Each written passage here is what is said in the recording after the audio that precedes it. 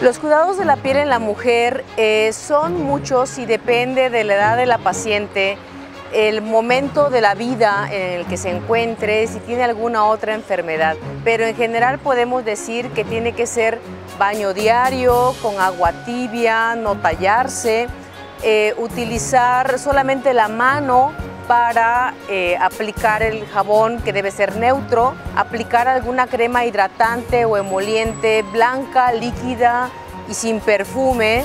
Eh, además de esto es el cuidado eh, con protección solar, ya sea con sombrero, manga larga, filtros solares, pantallas, etcétera, en el sol, en el caso de que vayan a la playa, por ejemplo, antes de las 10 de la mañana, después de las 4 de la tarde.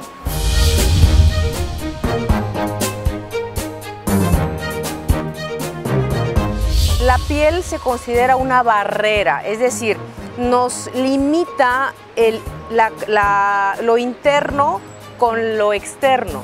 Si no cuidamos la barrera y esta se rompe, entonces pueden penetrar bacterias, contaminantes, agentes externos, radiación solar, etc.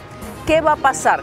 Si esta barrera se rompe, entonces podemos tener entonces infecciones por bacterias, por hongos, por virus.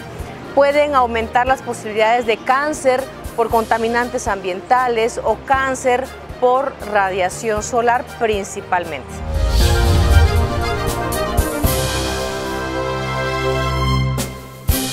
Principalmente son infecciones como cándida, que es un hongo de la de la piel y eh, la exposición inadecuada al sol en horarios no adecuados o cuando tengamos una alta incidencia de radiación ultravioleta o en la playa, en la alberca, en el trabajo, etcétera, puede favorecer que la mujer tenga cáncer de piel, eh, no solamente en las zonas expuestas.